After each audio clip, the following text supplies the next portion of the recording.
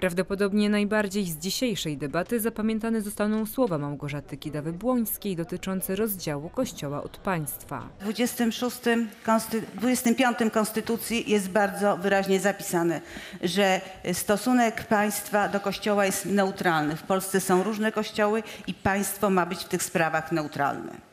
Oczywiście każdą umowę międzynarodową można przejrzeć i zweryfikować, ale gdybyśmy przestrzegali prawa tego artykułu Konstytucji, nie, mieli, nie zadawalibyśmy pytania o stosunek y, państwo-kościół. To ludzie, którzy nie przestrzegają Konstytucji, chcą się przypodobywać przy, y, odpowiednim y, y, księżom czy biskupom, psują państwo i psują polskie prawo. Nie był to jedyny lapsus językowy Małgorzaty Kidawy-Błońskiej w trakcie debaty z Jackiem Jaśkowiakiem.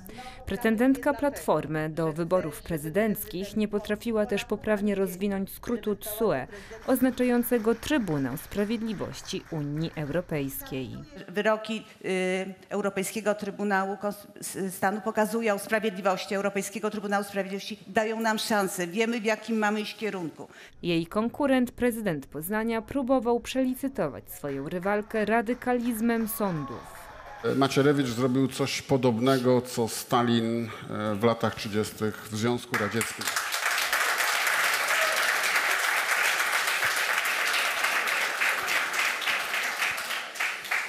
I my musimy przywrócić apolityczność, prawdziwą apolityczność dla armii. Grzegorz Schetyna, pytany po debacie o to, kto zrobił na nim większe wrażenie, odpowiedział krótko – oboje. Ale obserwując jego reakcję widać było, że oklaskiwał Jacka Jaśkowiaka. Po wypowiedziach Małgorzaty Kidawy-Błońskiej był znacznie bardziej powściągliwy w gestach. Na nasze pytanie o różnicę między pretendentami do prezydentury Małgorzata Kidawa-Błońska odpowiedziała wymijająco.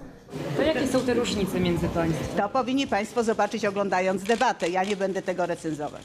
Według zgodnej opinii komentatorów debata Kidawy-Błońskiej i Jaśkowiaka wypadła blado, ale lepiej zaprezentował się w niej prezydent Poznania. Mogę mówić e, o tym, co ja chcę zrobić, e, jak zamierzam e, pewne rzeczy rozwiązać. Tak samo robi pani Kidawa-Błońska, a państwo muszą ocenić, czy te rozwiązania, które ja proponuję są lepsze, czy te, które proponuje pani Kidawa-Błońska. Otwarte pozostaje pytanie, czy kandydat Platformy będzie kandydatem całej koalicji obywatelskiej, bo tworzące ją ugrupowania chcą wystawić własnych kandydatów. Szanując podmiotowość każdego z naszych partnerów, wierzę na końcu, że wskazany przez Platformę kandydat uzyska też poparcie mniejszych naszych partnerów. Dziennikarze w mediach społecznościowych zgadzają się, że prawyborcza debata Platformy wypadła źle. Po debacie dla mnie najciekawsze jest to, że y, bardzo mało osób ją chwali. Wszyscy prawie narzekają i również z, łącznie ze zwolennikami y, Platformy. brak jakiejkolwiek, jak to się mówi, narracji pozytywnej. E, No a do tego bzdury, które wygadywał Jaśkowiak, e, porównując Antoniego Macierewicza e, do czystek, które on rzekomo zrobił w wojsku z czystkami Stalina. 14 grudnia w przyszłą sobotę delegaci Platformy Obywatelskiej zdecydują, kto będzie reprezentował ich partię podczas wyborów prezydenckich i zmierzy się z urzędującym prezydentem Andrzejem Dudą, szefem PSL-u Władysławem Kosiniakiem-Kamyszem i prawdopodobnie z Szymonem Hołownią, prezenterem telewizyjnym, który jutro w Gdańsku ma potwierdzić swój start w wyborach prezydenckich. Magdalena Bałkowiec, Telewizja Republika.